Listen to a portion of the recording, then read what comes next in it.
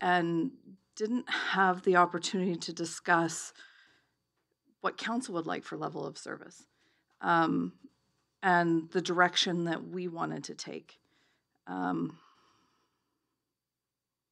I'll start with that. I can carry on, but Yeah, I, well, I can add like I I get where you're coming from. I had a similar sentiment. Um, I think um, this provides us with a starting framework and doesn't necessarily need to go go to council right away or get approved right away at the next council. But I think it is a starting point for us to move forward and m- start making changes or looking at the it's a draft document, right? Um, so I I totally get where you're coming from because we uh we had lots that we discussed that day and we we didn't necessarily finish our conversations either. So um I think uh I think this is a good time to discuss what what you like about this and what you'd like to see maybe changed. Um, as far as the policy went, it's um, good policy. Um, it's um, very. It seems to be the provincial standard. Any others that I looked into were very similar. Town of Cochrane, uh, Mountain View County, Sundre Olds, um, all very similar. Uh, similar wording. So it. Um, I don't have a lot of issues um, other than the, the one paragraph that, um, third paragraph, last sentence, council has determined the most cost-effective and appropriate manner um, in which to deliver protective services within the MD um, is the composite fire uh, organizational structure. Uh, that last part. I still have lots of questions about that that have not been answered. We have not had an opportunity to discuss it. I am not comfortable with that. I'm not comfortable with that being in there and going forward. Um, one of my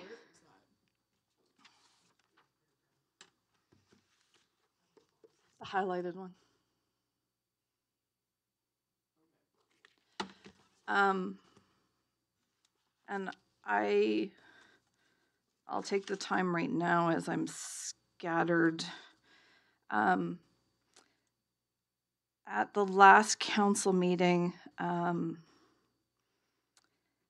uh, in reviewing for today, um, I rewatched January and February council meetings and parts of the December budget discussions and was extremely disappointed with myself um, in confusing the matter that um, uh, from the org chart in the last council meeting um, for policy ES9. Um, I was confused about the safety codes and the discussion we had had in the safety codes officer, um, and um, and then I brought it forward with misinformation in that one, um, and thought it was going to be part of the deputy chief position, which um, which was corrected but it was the safety codes that we had discussed in the budget and holding all of that and i had muddled it in my head so after watching all of those a couple of times now i think i have it straight. Um, but it was still something that was um, it was on hold. And so i think that um, while we work towards transparency it's great to identify that role. Um, but that was um, going to wait until we had done our level of service as well. Um, so th- th- that's just another point that I had muddled. Um, so for, I thought it was waiting rather than um, being in the org chart already. Um, it's just one more thing on the, the list to be discussed for me. I have I have lots of questions going forward that I need opportunity to ask and have answered before we can move forward th- with this. Okay. Um, how do we? Counselor Chusa, what are your thoughts? I'm just wondering if Counselor Smith would be comfortable providing a list of questions to the CAO so that it can be considered by administration and then a fuller discussion can take place at a later time. I don't think that, uh, yeah, I think that would probably be the most effective use of uh, everybody's time. I completely agree. And then for this to come back to GPC, or It's one of those things where you're developing a policy and uh, we're getting the bones of it down right now, and then we'll flesh out some of the details, and then uh, the policy is always going to change, so we need somewhere to start. And uh, I think if we can help you get through your questions, um, it'll move forward that much quicker. yeah, thank you. Um, I also had a few questions that I can maybe mention now, and then uh, they can just be included in this. Um, under 4.6 rescue calls, uh, 4.6.3 fire services shall provide surface water and water ice rescue at the technician level. I thought that was something we're not doing. Um, so that was one of the questions I had, and I don't know. I don't know if administration wants to answer these questions now or just document them and then come back. Reeve? Yeah. What if I were to circulate my questions to council? People can add to it and then we can send it to, Okay, because you might have some the to same CAO questions. Tut and then we can Okay. make sure that all of our questions are captured. Okay. CO Tut, uh, what are your thoughts on this? My thoughts are that if there was a list of significant questions, it would have proved for a better conversation today had I received those prior to this meeting. Um, so we'll start again, and if I could please have all questions submitted to me by email so I can work with my administrative staff to obtain the necessary answers for the discussion, and we'll bring it back to a future meeting. All right, thank you. And then those questions will become part of the public record uh, in a future meeting.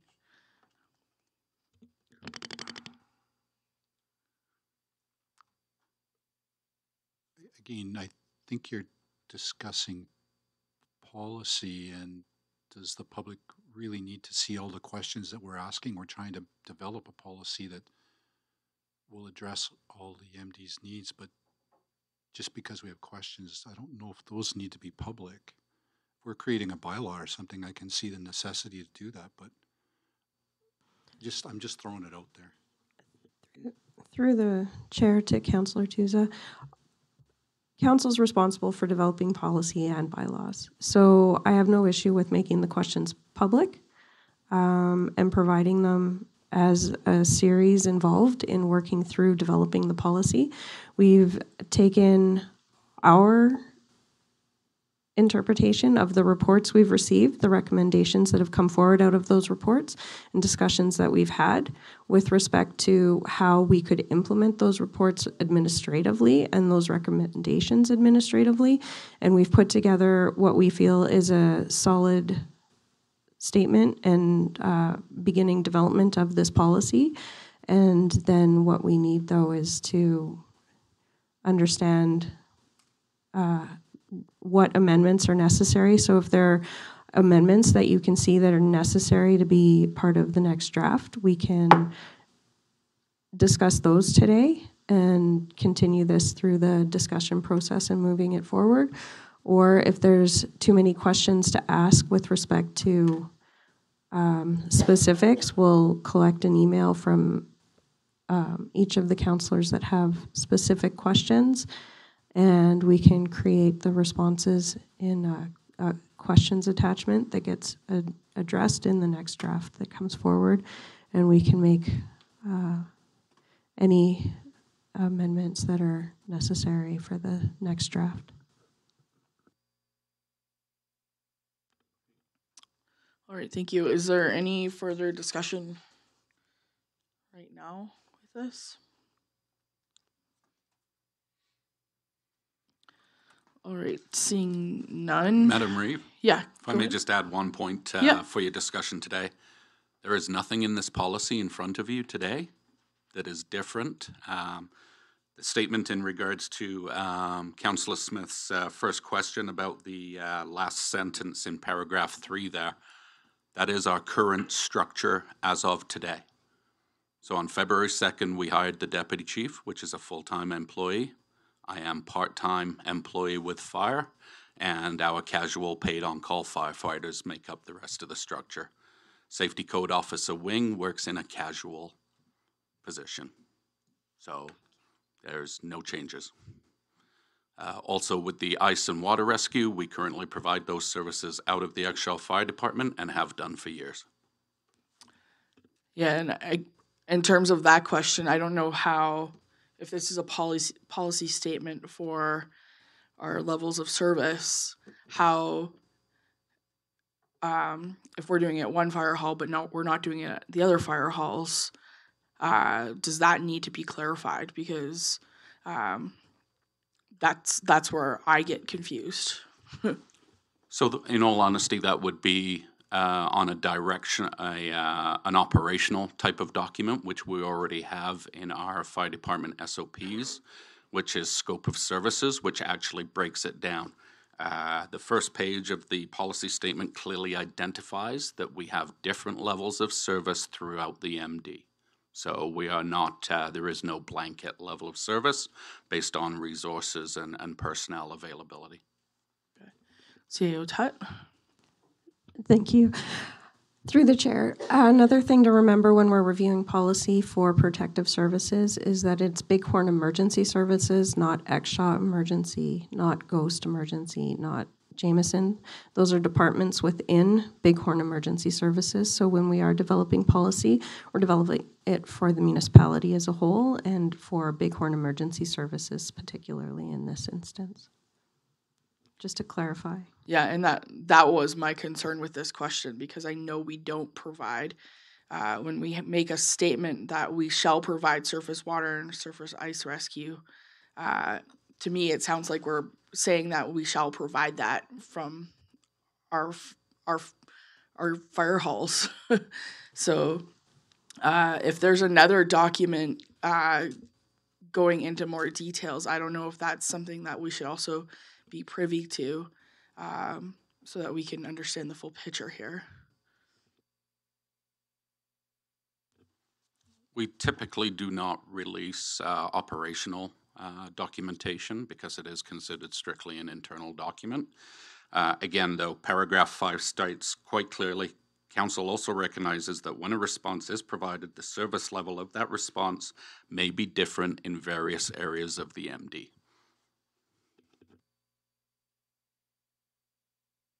Okay. Uh, well, we will put together a list of questions. Um, I, my hope is when we are creating policy that the policy is very clear so that everybody understands. Uh, if they're not privy to the interworkings of our SOP, that they will know what what is actually happening in this policy. Um, and it wasn't clear to me. So uh, we'll put together some questions and I guess uh, uh, bring bring this back to the next GPC. Um, would anybody like to make that motion? Or do, does do we need a motion for that?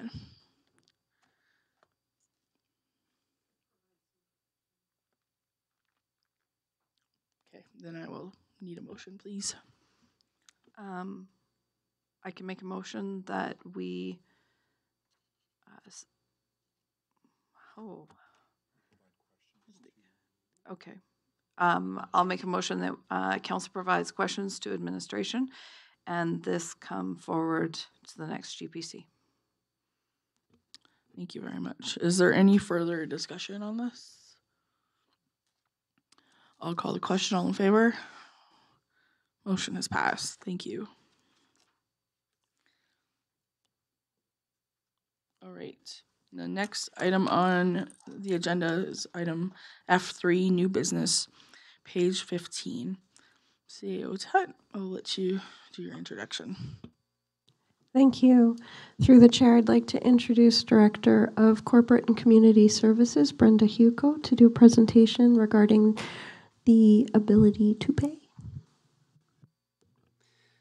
Thank you, CAO Tut. Good morning, Reben Council. Um, this topic, the ability to pay, was a topic that was mentioned as part of the budgeting uh, presentations, in that this is really just looking at um, as taxes change, how does it impact the residents? And then further, what is their ability to pay?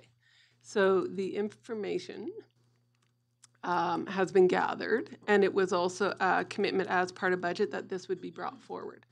The first part of the agenda, which is the overview, is really just a repeat of those slides that we went through as part of budget. So it's just resetting the tone. Then we'll get into the ability to pay and then the opportunity for any discussion. So this is just as a reminder where to find it within the uh, December 12th presentation, um, and then looking at um, some of the background and how to read, and um, the comparisons that we used when we were looking at the um, sorry, the comparisons that we used were 26 different municipalities, and it had either similar populations, land mass, uh, mountain parks region. We did not include uh, KID or the MD of Ranchlands due to various reasons. So um, I just want to reset the stage that this is a ranking system. So where do you rank between 1 and 26? So 26 would be the upper end, 1 would be the lower end. And then one of the things that we did was also um, keep the town of Canmore in as our nearest municipality that has a lot of similar, not the same, but similar characteristics, being in the Bow Valley, being impacted by tourism, being impacted by um, recruiting efforts as well as affordability issues. So, with that, we talked about the general municipal rate. So, that is what is the rate that residents pay per 100,000 of assessment value. So the MD was ranked lowest of the 26. Canmore was third, and the highest was uh, Birch Hills County. So I'm not going to go through all of these again. I just wanted to kind of reset the stage. Uh, we also have provided the um, source documents where all the information came from. So this is all publicly available information. So we then looked at how do our residential assessments uh, look, followed by our price per dwelling of households and where we're ranked. So very close to Canmore at 22, Canmore's at 24. Town of Banff is at the highest. Uh, average. Sorry, uh, Director Hugo. Uh, on the previous slide, is it okay if we ask questions Absolutely. during? Um, is this the price per? Um, I think it was the previous slide. That was like the sale price. Sorry. Sorry, the residential assessment value. So, what is the average assessment value of a residence within? So, the assessment value is um, based off of sales that have occurred over the prior year or years. Okay. Um, and so the MD's average was just under 690,000. Um, no, that's not right. Sorry, let me get it onto my slide here.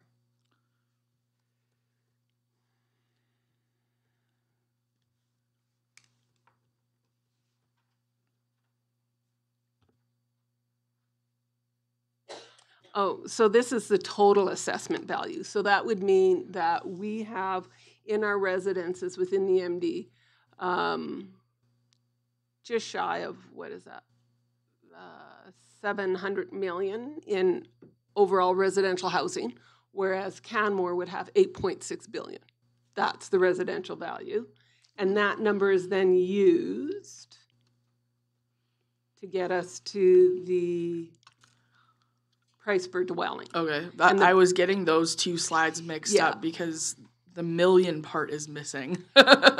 Yeah. Because I thought they would be the same. Yeah, yeah, no, and my apologies. Yeah, the assessment value is millions and billions or per hundred thousand, however you want to look at it. I wasn't sure if it was individual, like the average individual assessment per dwelling, but Yeah. that is That's this this slide. slide. Okay. Yes. So uh, again, where are we ranking relative within the various groupings of 26? So we're in number 22 position. And then how I gave the numbers of the high, the low, and then where we were versus Canmore. So from a, uh, an, an individual person or household perspective, that's a lot of value in a residence, a residential house. So on their net worth, impactful at seven hundred thousand. Um, then the average taxes per dwelling. So this is looking at what would each of the households pay on average against those twenty-six municipalities. We were ranked twelfth, so kind of middle of the pack. Uh, Town of Canmore was twenty-first. Uh, Foothill County was the highest at the twenty-sixth. Uh, so it's just kind of telling us that, okay, we're not the highest, we're not the lowest, we're in the middle, that quite possibly that there is some area for um, increases to property taxes. Then we're looking at the number of dwellings. So here in the MD, we have just shy of a thousand. Town of Canmore, just over nine thousand, so it's a ten to one ratio. Uh, Rocky View County, fifteen thousand, so obviously they have a lot more capacity within their MD to manage. This also kind of highlights the importance of growth and why growth matters. And we're fortunate to be within the Bow Valley, which is a you know a desirable place to live. And so I did add in, these are just some of the different topics um, that we talked through as part of the budget. So I'm just keeping all the information consistent all the way through. Um, I'm happy to go through any of these again if there's any questions. Um, and then these were some of the um, areas that the MD or the, sorry, the administration would be looking into for new revenue sources. What's the impact of taxes? What's the capacity for the taxpayer taxpayer to pay? So that's where we're at today. So in here, um, this is information that we took from Stats Canada. So again, publicly available. So now we're going to start blending what we got from the Alberta government with Stats Can. Um, so this is looking at the average taxable income for an economic family. So within Stats Canada, it's a great organization. There is a bucket load of information there. I went with the definition of economic family as opposed to household simply because the economic family adds in that must be related element. So if you were a if there was a household that happened to rent out a basement suite and that person's income from that basement suite would not be included in here. And the reason I excluded that type of activity is because I'm thinking through the when someone's looking at their property tax bill, they're not going to go and talk to their renter about how much more can you increase. It's really a family conversation. So the economic family is about the familial connection. So it can be blood, married in, adopted. Um, so in that, the average taxable income, so the taxable income means total income coming into the house. Uh, we looked at the same 26 communities. Um, where we ranked was 20 on the high side at about 145,000 per economic household. Canmore was two positions higher, Rocky View County even higher. So, being an accountant, I then thought, well, I would like to take one more element into consideration. I want to look at the after tax dollars that these economic families have access to. And the reason I want to look at after taxes, tax is your typically biggest expense. I want to get that out of the way because I really want to look at that capacity or the ability to pay. So that then lowered, because these are now your free dollars to spend. So where did the MD land? Just shy or just over 119,000 in a year. Uh, position number 22 out of 26. So on the higher end within this group of 26.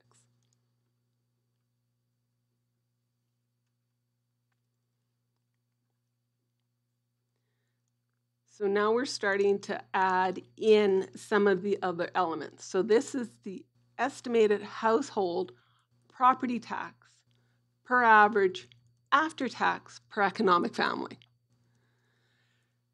So, where is this all ranking and what does it mean? So, in the MD of Bighorn, our average tax is 1,320. And just for clarity, this includes that. Um, you know how we made the change to the policing and we brought it into the budget? So, that policing expense is in the budget in, in that amount. That means that that tax represents 1.11% of the after tax income on an economic family. Our com- and we would be ranked sixth out of the 26, so definitely at the low end. So, again, just kind of giving that indication that there is capacity to move up. Town of Canmore is at 18, their percentage is 1.63, and the MD of Fairview is at the high end at 26. Um, so, what I did, and it's not included in the presentation, is I'm a numbers person. I wanted to see what does, if we were to go from 1.11% to 1.63% of the economic family within the MD, what would that represent as a total increase to the household? So it would go from 1320 to 1938. Now, I want to be super clear I am not advocating, I am not bringing that forward as an increase but I'm simply saying that gives me a bit of a bandwidth of where we can go. So I do know we approved, obviously, the 2024 budget with, think it was somewhere around a $50 increase. So, and I know at the time I had said I'm comfortable knowing that there was a lot of bandwidth. There is still that bandwidth. Any questions with what I've, yes? Sorry, um, uh, my brain was still on the previous slide when you introduced this one. What does the HH stand for?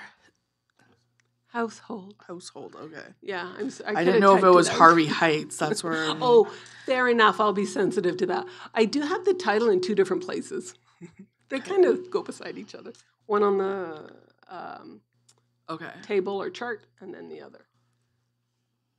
But yeah, because it was so long-winded.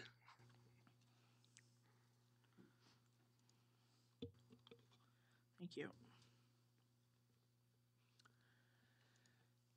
Any discussion on this? I guess this is more for information. Um, it is, yeah, I guess interesting to understand this. Um, and I also understand that uh, what I hear from our residents is that uh, the low taxes is definitely one of the major attractions of living in the MD Bighorn, and uh, trying to keep it that way is also uh, what we hear a lot. So uh, it's interesting to see uh, that there's capacity, but uh, I think I think that's all all I really want to say about that. There's capacity, but I don't really want to go there.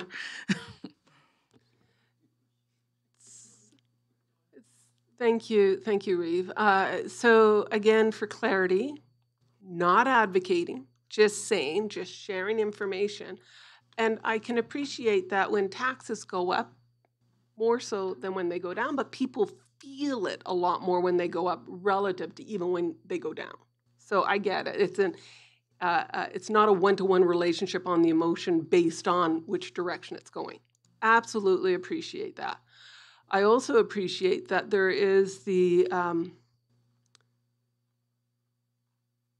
the respect that it's taxpayers' dollars and in the direction that um, we're looking to go with, you know, levels of service and um, becoming the employer of choice and moving the MD into these types of directions that it's about if taxes go up, are they being spent efficiently and respectfully? And that's that kind of trade off, um, especially when we're looking at new services and improving levels of service and so on. Um, and then preparing for um, our assets and the usage of our assets on a year to year basis. So I just wanted to tie those pieces together. Thank you. Yeah, thank you for the clarification. Counselor James, go ahead. Um, yeah, through the, um, through the reeve. Um, I kind of, like, I really, I really appreciate this. I get a little, um, stammered on, on this. Actually, the, um, actually, it's the average after-tax income for the economic family portion. Because I believe that that would be a very low level for the town of Canmore. Um, they just posted that the average income needs to be what thirty-nine dollars an hour for average, which would be an income of two hundred and twenty-five or greater than two hundred and twenty-five thousand dollars a year, just to make um, what was that called? That was the livability. And so when I look at that, I don't think that anybody um, in the town of Canmore, it's 165,000, would be making it very well. Um, and I haven't evaluated that for the MD of Bighorn, and we don't, I don't know if we know what our livability costs are. Um, I guess you would take that to the average, um, the price per dwelling, um, and to, to somewhat evaluate it. I, you know, there's also a lot of very, like, I really appreciate that you com- Canmore is great because it's so close that we can use those services like rec- from recreation to groceries to fueling to all of those things. But there's a big difference in what services that are provided in the MD of Bighorn than are in the in the town of Canmore. Um, so I just kind of um, see that, and I appreciate that the ranch lands are out of that because that distance becomes even greater. So we could almost say Dead Man's Flats and Harvey Heights has a grocery store because Canmore is so perfectly close. It's almost as close. It's closer than it is for ranch lands people to get to Cochrane. So anyway, it was just a a, a thought there. So I just kind of wonder actually what uh, it makes me question even more the um, the the room and capacity for um, tax growth is, and um, what our ra- ratepayers can do. Thank you, Councillor James. If I can just seek a few points of clarification. I believe you're saying $39 an hour? The cost of living wage.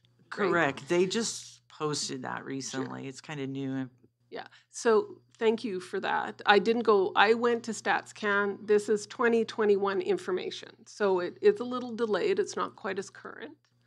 Um, so $39 an hour is roughly 78,000 a year, simple math. Um, so that would tell me at 78, roughly there's two and a bit people living together at the town of Canmore. If that that comparator to what does the 165 represent? 165,000 per household is that number, and the household, the members of the household have to be related. Okay, so then the after tax, or it's this one. The after tax is just taking the taxes out so that I can look at the pure expense. Um, and that again is an accountant view. Um, if you're interested, um, sorry, where'd it go?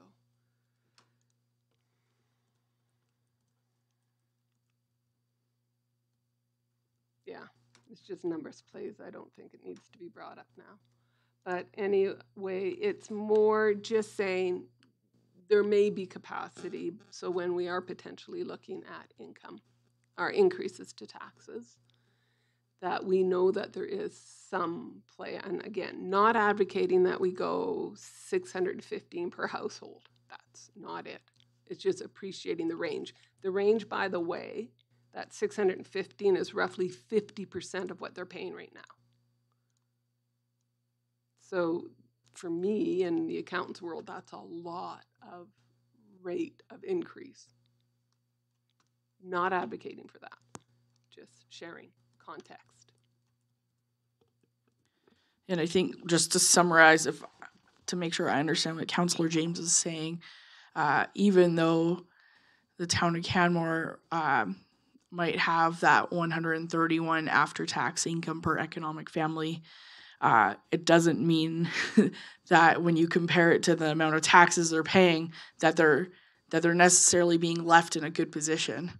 Uh, when you consider the cost of living uh, in the Bow Valley now, um, it's it's not like there's um, a big buffer to just increase taxes um, like that that uh, after tax income is already playing it very tight. When you look at the $39 an hour as the the cost of living uh, that is just the bare bones cost that is not uh, not allowing for um, I don't know extras that you might want in your life. So um, yeah, it's it's not suggesting that there's room, in my opinion. But um, yeah, is that similar? Is that what you're? Yeah. Okay. Is there any other discussion around this?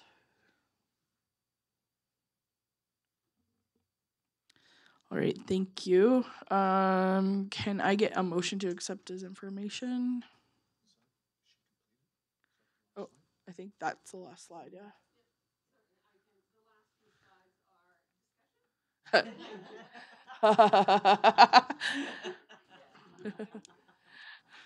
Good. All right.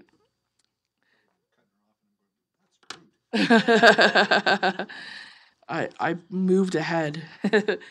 um, can I get a motion? Go ahead, Councilor Fitzmaurice. I'll make the motion that council accepts the ability to pay presentation as information. Thank you very much. Uh, any further discussion? I'll call the question. All in favor? Motion has passed. All right, it is uh, ten or sorry, nine fifty four. We've got a delegation starting at ten, so I'll just call a bio break until ten o'clock. Thank you.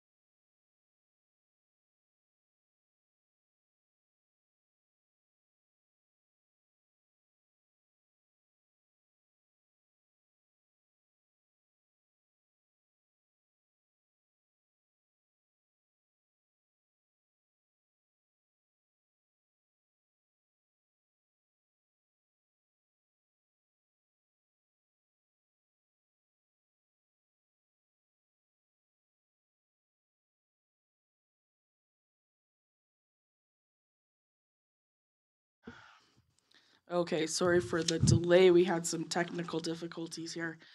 Um, we are going to be moving into our delegation with Bear and Pear Productions.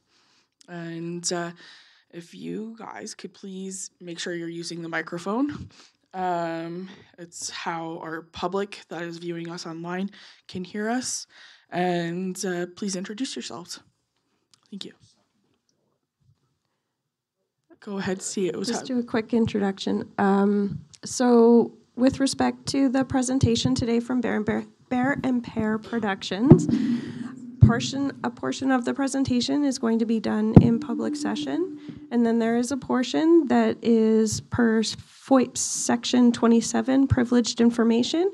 So we will have to move into closed session, and they will let us know when we need to close the meeting off to the public.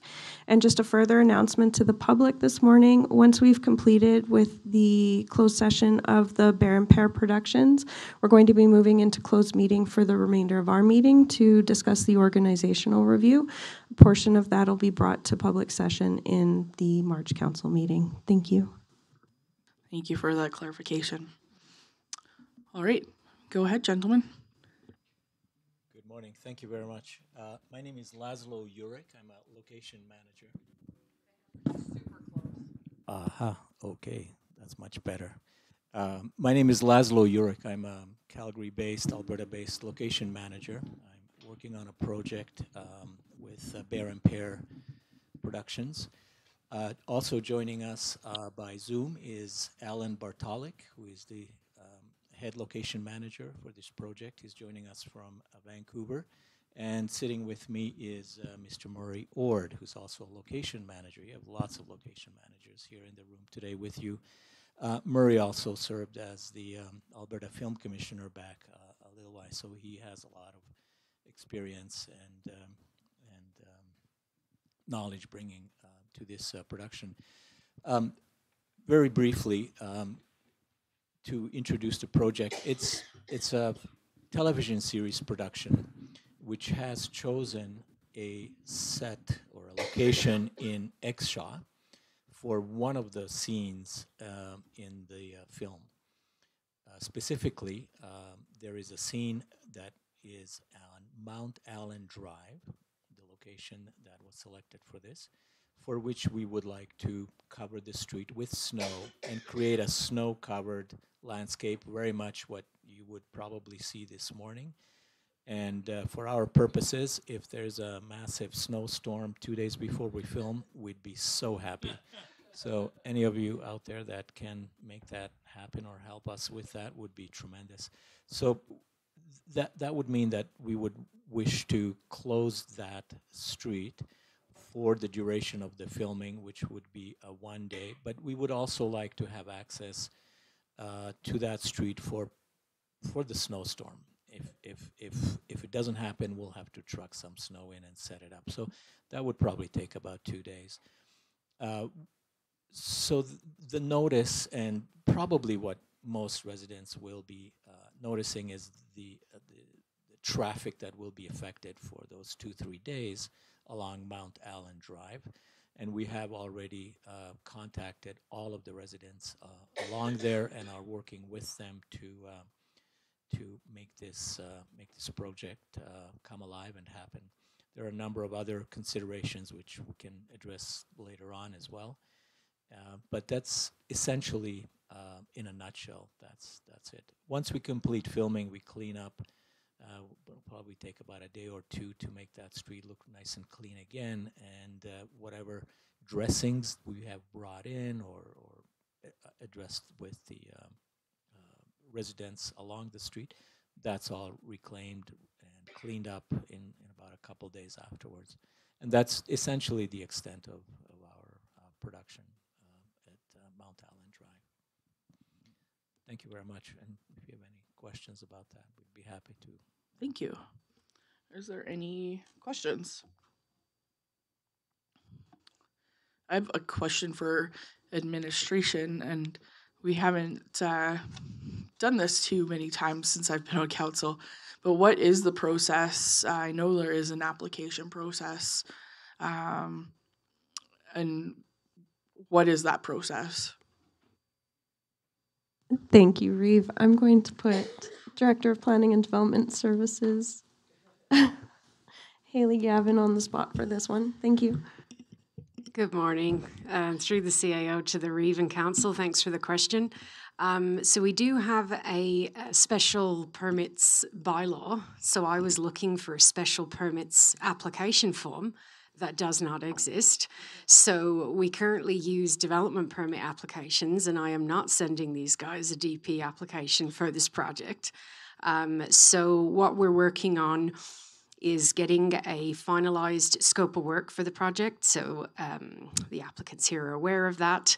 And then working with our uh, insurance company and then legal to review any of the contracts that um, would be signed between the two parties. And then we would issue essentially a special events permit with a number of conditions that's been circulated to all the departments to make sure that we didn't miss anything um, and to ensure that our liability is reduced as much as possible. So that's kind of where we've got to in this process. Um, the window to the filming time is getting closer, uh, if it hasn't changed. but um, yeah, so we're currently just working through that. But I, I think moving forwards, we should have um, an actual application for these types of events. Thank you. Thank you for that. And in terms of uh, the disruption of uh, flow and traffic on that road, um, how will vehicles and school buses navigate around that? And I'm not sure if this is a Haley question or a production company question. we, we can address that. And Yeah. if I may, uh, just show you a quick map here for your reference. Um, what is advantageous about uh, this particular location is is the um, fact that there's no through traffic normally uh, Mount Allen Drive. Uh, so there's only traffic that would be to the uh, Exshaw School and of course the fire hall. Uh, our proposed detour uh, to get around Mount Allen Drive is simply to go on the east side along Yamnuska Drive and, uh, and then just hook around the fire hall and then uh, to the north of, the, um, of Mount Allen Drive. Clear open access to the school and to uh, one other residence there and um, also to the, um, to the uh, MD's uh, shop that's uh, located, uh, maintenance shop. Uh, while this detour is in effect, we have uh, traffic controllers and people on radios to assist the traffic coming around, and that would be primarily uh, school buses. And for the duration of the Mount Allen Drive closure, probably most likely also a few residents. For the residents, we will have the back lane open uh, that will be plowed out from the snow that's blown in, and they will have access to their homes from uh, from the rear. This is something that is also in discussions with every individual uh, resident along that street. All right, thank you for that. And then um, I guess our, another question to go with that are the school buses and the fire trucks able to get down that Yamnuska Drive? Is that Excellent question. Uh, we have worked with the fire chief on determining uh, access to the fire hall to ensure that there are no complications, and um, that we have a solution that would work. Uh, we have um, been in contact with the uh, the school district. We we have not yet been successful to have a face to face with uh, the superintendent given the, um, the teachers convention and whatnot. Um, and we will work directly with them to ensure that school buses will have the proper access. thank you? Are there any other questions, or is there anything else you guys would like to add? I, I think in this forum, I, I, that is primarily kind of what the, the, the bulk of the information would be. There are other details which we can discuss uh, later otherwise. Yeah. Thank you. And if I may, just Yep. with our friend Alan on the screen, Alan, if you have anything that you would also like to mention that I might have missed. Um, everybody, this is Alan, uh, Alan Bartalik, our location manager in Vancouver.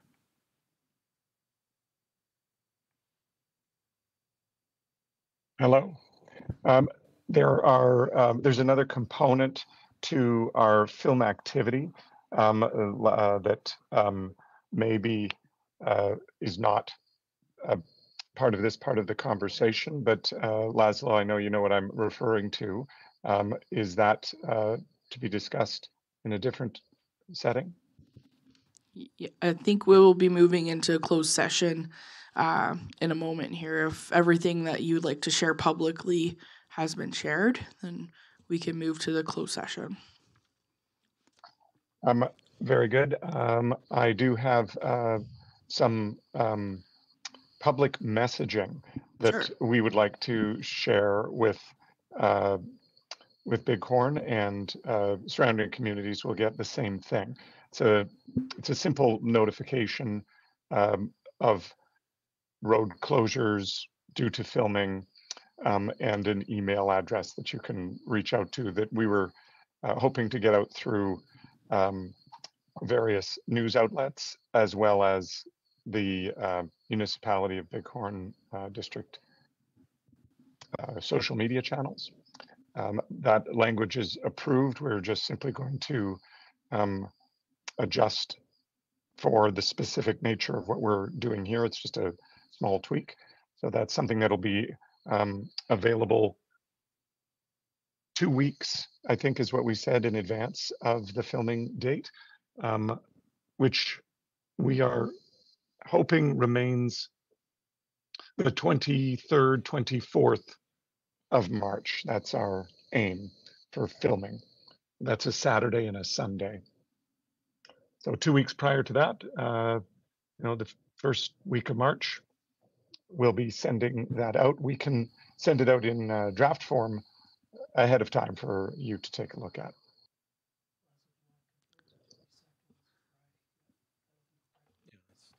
Wonderful. Thank you very much for that. All right. Um, it sounds like we're ready to move to the closed session. Can I get a motion from somebody on the committee? Go ahead. Councillor Smith I'll make has the motion. Yep. I'll call the question. All in favor? Thank you.